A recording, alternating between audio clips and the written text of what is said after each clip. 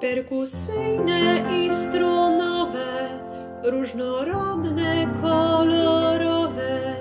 Ten tytuł usłyszysz też. Co to jest? Czy już wiesz? Instrumenciaki, instrumenciaki Lubią je dziewczyny,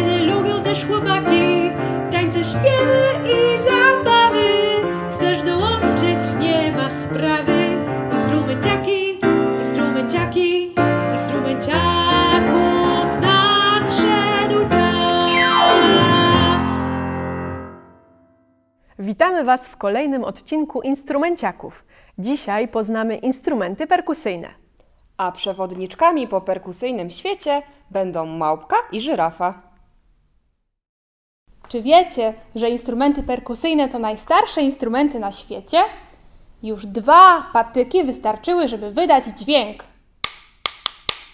Więcej o nich opowie pani żyrafa.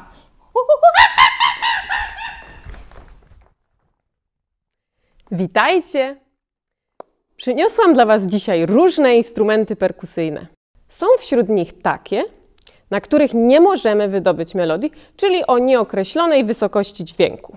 Na przykład shaker,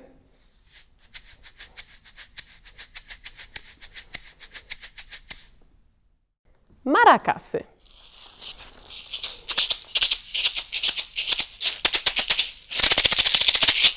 Kolejny instrument to tamburyn. Może wyglądać w taki sposób.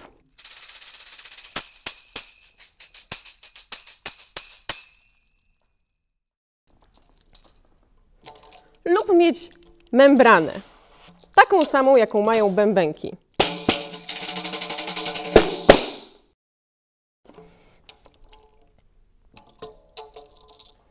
Kolejny instrument to na przykład chimesy.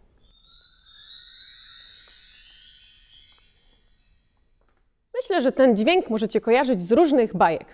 Występuje zazwyczaj wtedy, gdy, gdzie, gdy dzieje się coś magicznego.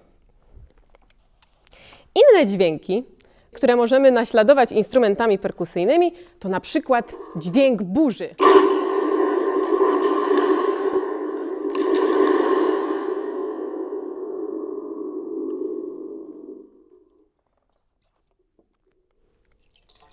Lub rechotanie żabek.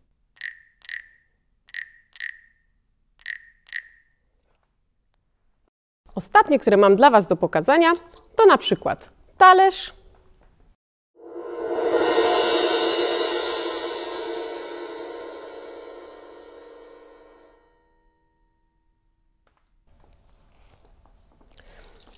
lub instrument podobny do tych, które pokazywałam na początku, czyli takie grzechotki zrobione z nasion.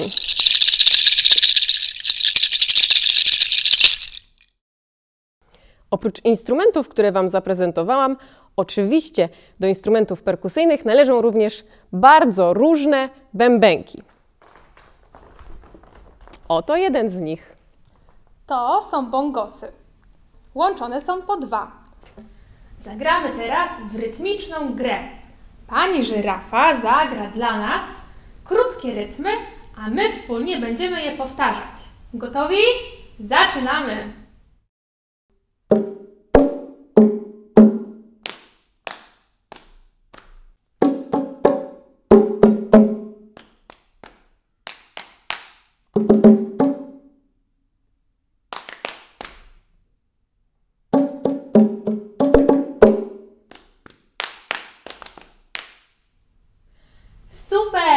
Dobrze Wam poszło.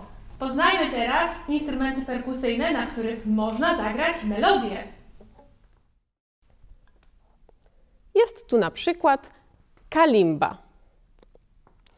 Instrument, którego podstawa jest drewniana, a dźwięki wydobywamy poprzez leciutkie naciskanie, szarpanie metalowych sztabek.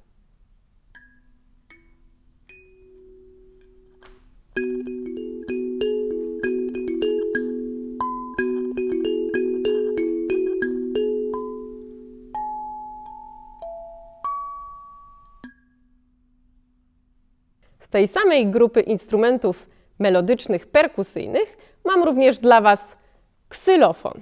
Zbudowane jest z drewna, a gra się na nim pałeczkami. Można użyć do tego dwóch pałeczek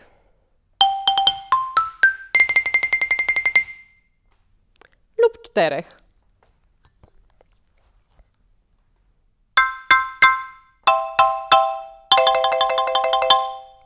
Pałeczki uderzają w sztabki, które ułożone są tak samo jak klawiatura fortepianu.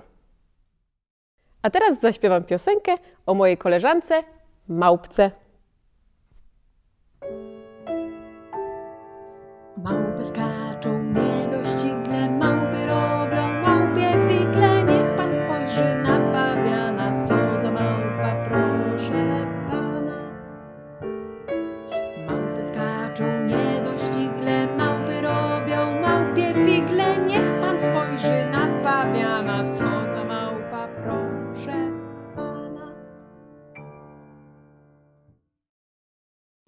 teraz zaśpiewam piosenkę o mojej koleżance żyrafce.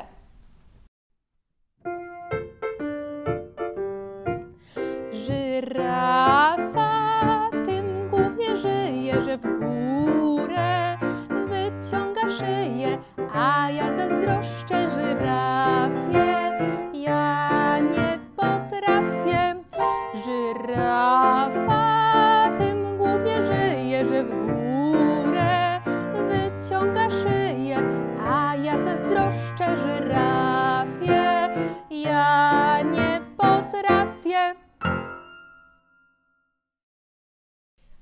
Zagramy utwór razem z fortepianem.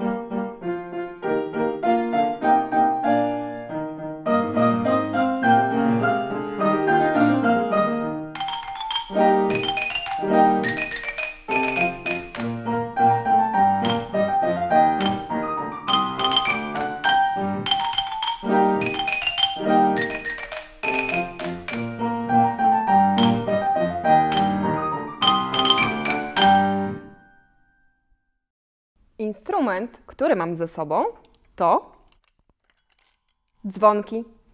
Jak widzicie, dzwonki mają sztabki w dwóch kolorach: czarnym i białym. Czy wiecie, jaki inny instrument ma klawisze w dwóch kolorach, białe i czarne? No jasne, fortepian. Dzwonki mają tych sztabek oczywiście dużo mniej, ale ich dźwięk jest bardzo charakterystyczny.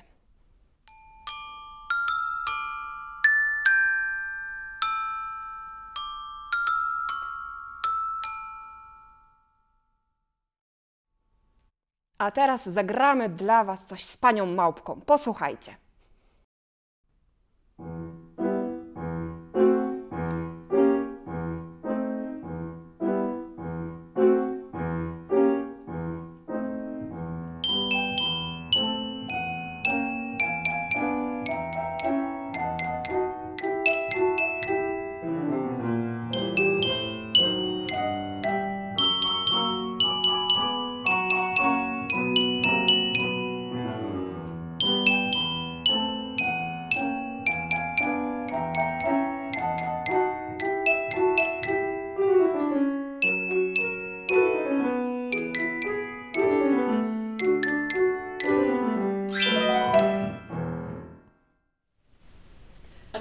Wiecie, że instrumentem muzycznym może być również nasze ciało?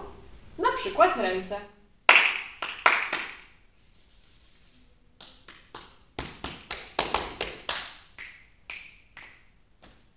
Jeśli się rozejrzycie, znajdziecie również instrumenty perkusyjne u siebie w domu, a zwłaszcza w kuchni. Wystarczy, że weźmiecie drewnianą łyżkę i garnek.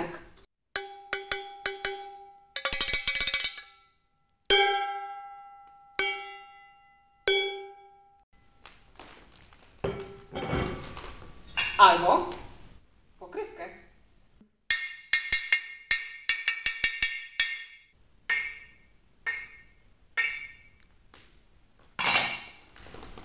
Jeszcze inny dźwięk wyda durszlak.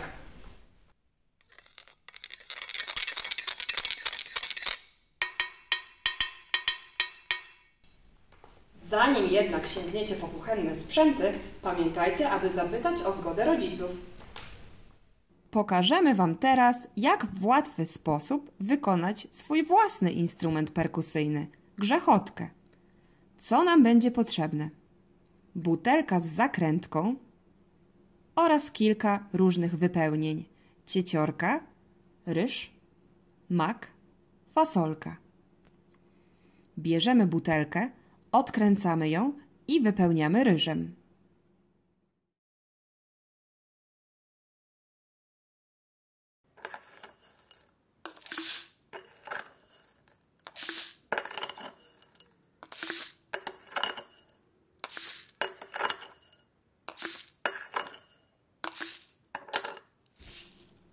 Zakręcamy i możemy posłuchać, jak brzmi nasz instrument.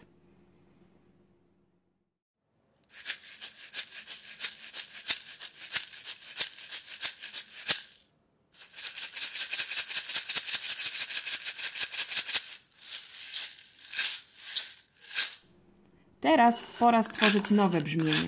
Wysypmy ryż i napełnijmy butelkę cieciorką.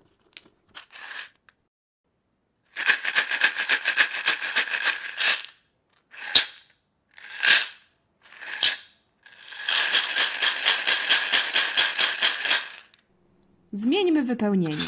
Wsypmy do butelki fasolkę i sprawdźmy, jak brzmi nasza grzechotka.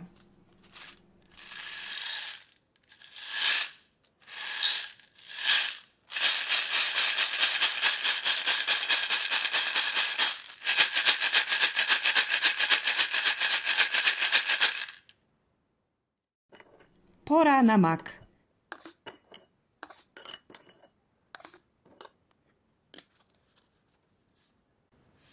Teraz instrument brzmi delikatniej. Słyszycie?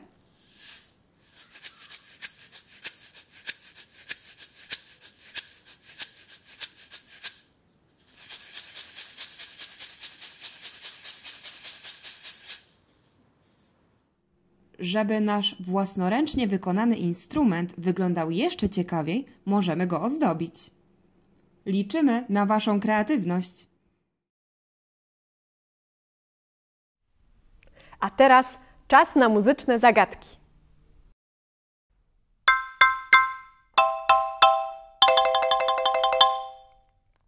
Doskonale, to był ksylofon.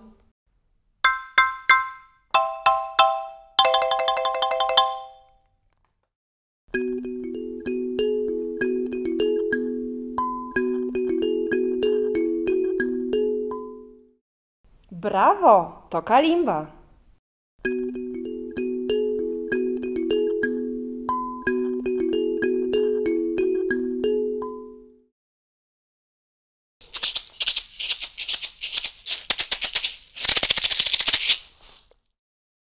Doskonale zgadliście, to były marakasy.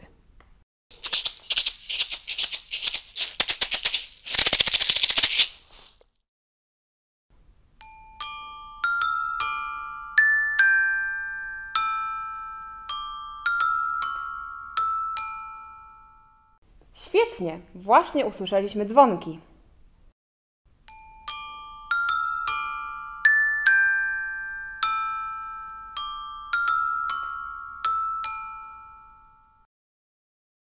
Na dziś to już koniec. Żegnamy się z Wami naszą instrumenciakową piosenką. A może chcecie zagrać razem z nami? Poszukajcie w domu jakichś instrumentów. Pamiętajcie, że mogą zagrać też Wasze ręce i nogi. Do zobaczenia w kolejnym odcinku!